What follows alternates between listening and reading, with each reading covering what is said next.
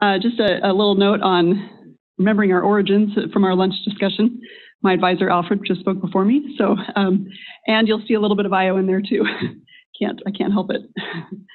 um, okay, well, so um, I'm going to talk about a field analog for a, an exoplanet, which is exciting. Maybe some others have come up with this, but I'm not sure. Um, first of all, I just want to uh, give a little note about how field analogs are valuable, and we've been doing this in a number of locations around the Earth. Um, on the right is a picture of some linear features on the surface of Mars, and we've come to understand that these, these uh, striated landforms are formed by wind dominantly. And there are a lot of these on Mars. Um, they uh, occur there because Mars has been a wind dominated landscape for billions of years. But it turns out we also have them on Earth, and they're in kind of difficult to get to locations where wind is mostly in control. And so we've gone to visit those, those Yardangs to try to understand them better. I should note too, we also see them on Titan. And look at the resolution we have for these on Titan. Can you imagine how many arguments we got in before some of us have settled on the idea that these are Yardangs? Um, and so, you know, we, but we have very little to go on, especially for Titan in understanding these. And so we go out to the analogs on Earth and here are some in China. And um, first, we can look at them from overhead at much better resolution than either place and um, notice some things about them. Uh, one thing to point out here is that the, the grays in the background are gravels, and there are some gravel ripples in between the yardangs.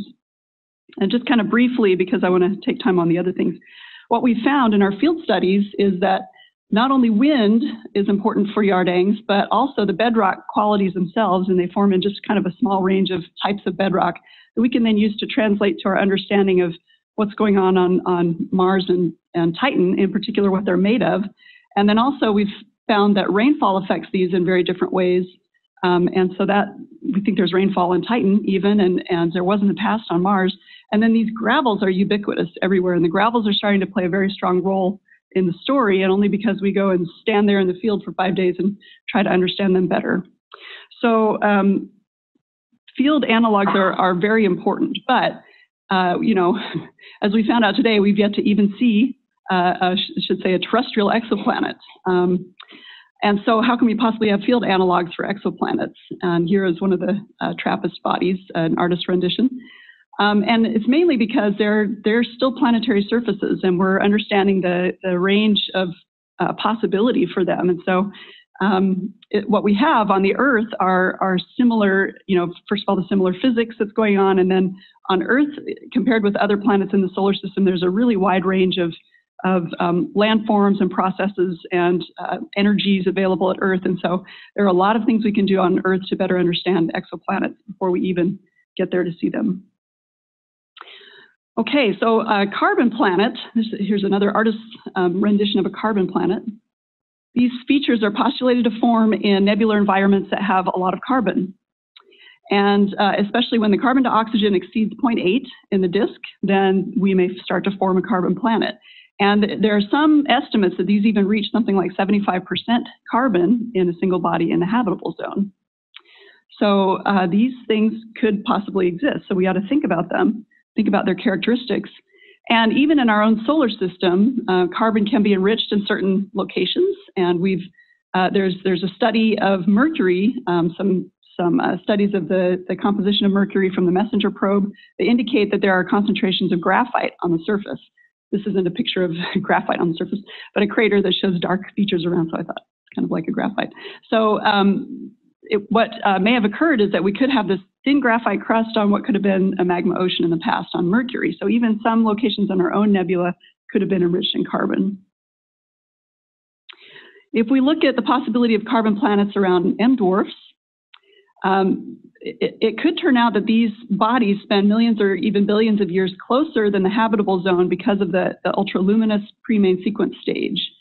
And so a planet in that situation might be in a runaway greenhouse condition, in which case all the water on the surface ends up um, being sent up to the upper atmosphere, and being photolyzed uh, up there. All the light hydrogen would leave and leaves behind the, the oxygen.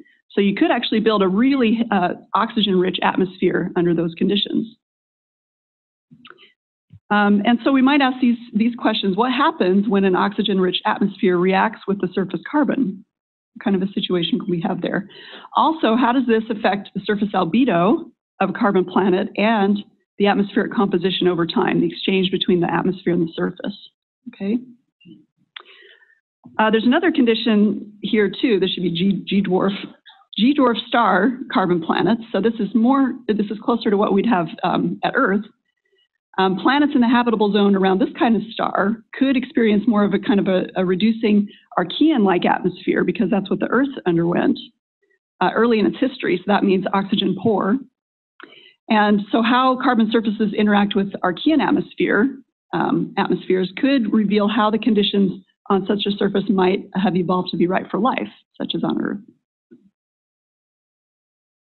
Okay, so uh, let's turn to this volcano in Tanzania. Um, it's called Ol Doinyo Lengai. Has anybody been there before? No, okay. I haven't either. So a lot of this, I should say, um, this is what we're planning to do at Ol Doinyo Lengai. I will tell you why we think it's such a great location for us to go visit. Um, but right now, what's happening here is that it is, it is erupting right now carbon-rich lavas. These are called carbonatites or natrocarbonatite lavas.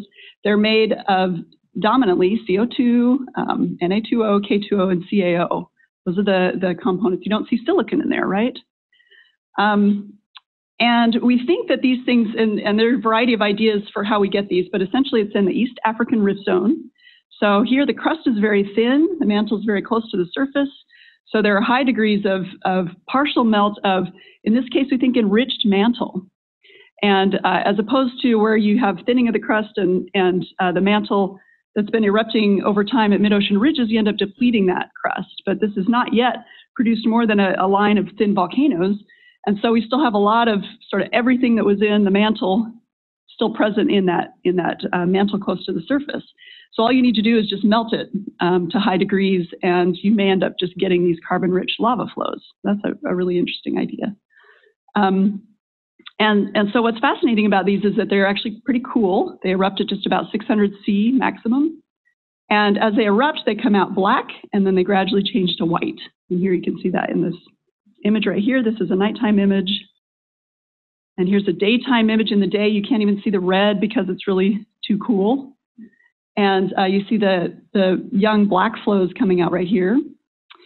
Um, it has a similar flow morphology to basalt. As you can see, there are these little, call them hornitos, that come up that, that look really similar to in a basalt lava flow field. The viscosity is quite a bit lower. It's 10 times lower than basalt. It's a little bit like mud. And there have been pretty extensive field and laboratory studies on their rheology. Back during the mid 90s, there was a big field campaign. And so scientists at that time went and obtained some lavas and did the basic um, analyses of them. Here's a video of a mud volcano. uh, this is in actual mud, and this is in the Salton Sea. Uh, but just to kind of give you a sense, I did see some uh, videos of the Ol Doinyo Lengai volcano erupting, and it looks really similar. This is the kind of viscosity we're dealing with. I call this a little miniature mud lava lake. and uh, so sorry about the low resolution here on this picture, but it's, it's a pretty old picture, and um, what tends to happen is that this, this is actually a stratovolcano, a silica-rich stratovolcano that builds up a cone with gas-rich eruptions, and then uh, once it's kind of in between the, the uh, cone building stage, it will fill, the crater will fill with these carbonatite lavas and create a very flat, you can see how flat that surface is because of the low viscosity of the lavas.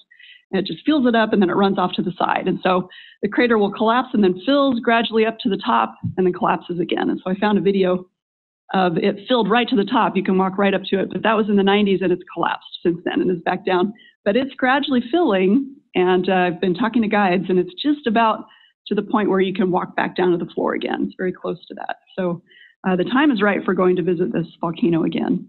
Here's an overhead view of that uh, crater. That summit crater we were looking at is just about a, a half a kilometer across, and there are these uh, thin, bright, uh, carbon-rich lava flows that are radiating away from that central central cone. Okay, so there are some questions we want to ask that are relevant to our understanding of carbon planets. The first thing is colors. Um, what, what in particular causes these lavas to be black or white? And uh, everything that we've looked at in the literature about the lavas um, indicates that it seems like it's oxygen, but that's not, the study has not been done in detail to, to determine that. If it's oxygen that causes the black to change to white, uh, within about a day or two is, is when it happens, then that means that as we're looking at carbon planets, if we see a white surface, there's probably oxygen-rich atmosphere. If we see a black surface, it's probably oxygen-poor or Archean atmosphere. And then I wonder about a mix. Well, maybe there's such a high volcanic output that it hasn't had time to change over to the white from the black. Um, but what we want to do is do some field studies to monitor these changes. You know, first of all, could we, you know, chip away at the at the surface lavas, look underneath, and see if if those lavas are unaltered because they're buried and they're away from the atmosphere. Um, also, there are other things to look for um, con concerning the petrology. If they devitrified, the glasses sometimes return back to crystals, and that's true for silicates. What would that look like for these carbon-rich lavas, and how does that affect the color?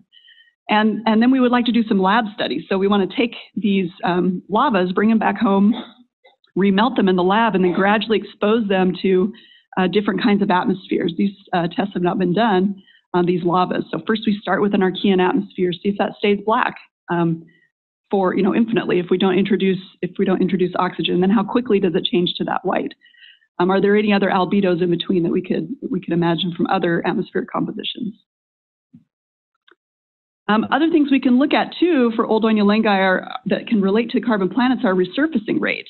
So we could use the lava flow rates that we see in the field, um, just observe how, how quickly the lava is coming out, how quickly it's covering up new ground, and uh, look at the topography and also look at the temperature distribution to help kind of obtain a resurfacing rate.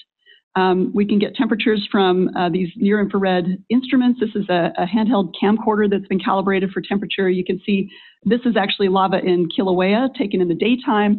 There's a little bit of sunlight here, but we reach temperatures of 800 degrees here. And uh, at nighttime in a, in a lava lake, we get right up to the 1100 or so degrees centigrade that's typical for um, basalt lavas.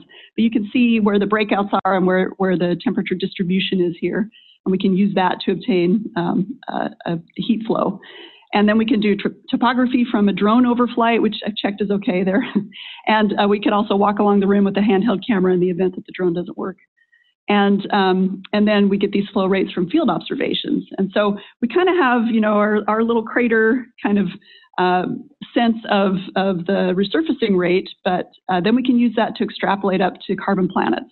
How quickly can we put new material out on the surface and expose that new material to an atmosphere, for example? And um, this relates to um, our thoughts about what, what could be going on inside of carbon planets. Um, on Earth, we know that plate tectonics cycles the carbon dioxide. We've talked a bit already about Earth uh, or about tectonics in, in planets during this meeting, but plate tectonics cycles the carbon dioxide by bringing it down into the interior and then erupting it back out again through uh, volcanism. This helps to stabilize the surface temperature, um, helps to regulate the volatiles in the atmosphere. Um, and so on carbon worlds, what we understand is that, you know, let's imagine a mantle that's made entirely of kind of carbon, mostly carbon and not silicon. And under those conditions, we could have very low melting temperatures and really low viscosities like we talked about before. So you could have vigorous convection in the mantle. And under the situation where we've got an asthenosphere, um, which is really important, then maybe we could have plate tectonics. Um, that's something to keep in mind that's, that's important as we think about tectonism is we could have this mantle convection, but um, you know, as for example, in the case of Venus, there's not a mobile layer there, and so we don't have plate tectonics. Uh, maybe more important than water, as was mentioned before, is this presence of an asthenosphere. Um, let's say we just add some silicon to the interior, and so maybe instead we have a mantle that's silica carbide. And uh, this material is a really hard and high temperature, very insulating material. Uh, this is similar to what Edwin Kite talked about at uh, EPSC last fall, kind of like a ceramic. Okay, and that ceramic is really resistant to convection, it's resistant to heat flow, it's resistant to all kinds of things. And so, in order to communicate that heat out to the surface, maybe it's under a condition of a heat pipe mechanism. And this is a different kind of tectonism. Uh, what's going on here is, is here's our Io. This is what we think is going on on Io, and that is that we're bringing the hot uh, material directly up to the surface, and then because it's being delivered to the surface, it's actually kind of forcing the cold crust down into the mantle and thereby recycling all the atmospheric volatiles that have been placed onto the surface.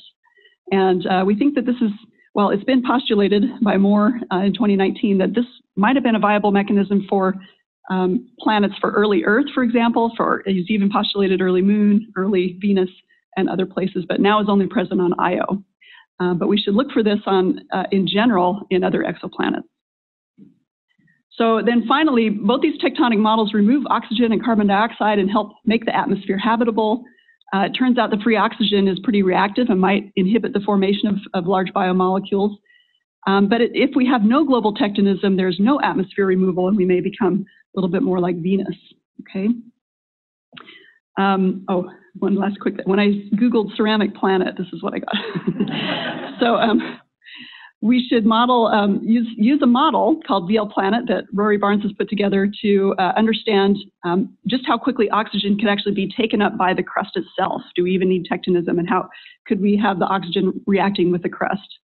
Um, and just in conclusion, um, Old Lenga is a, is a strong analog and I encourage you to look for other field analogs for exoplanets. It's really valuable to go into the field and get a sense of what's happening because um, you'll recognize it when you get there finally to that planet. Um, and uh, atmospheric stability is a delicate balance. If we don't have these sinks, then, uh, then runaway greenhouse can occur and we can become uninhabitable. All right, thank you.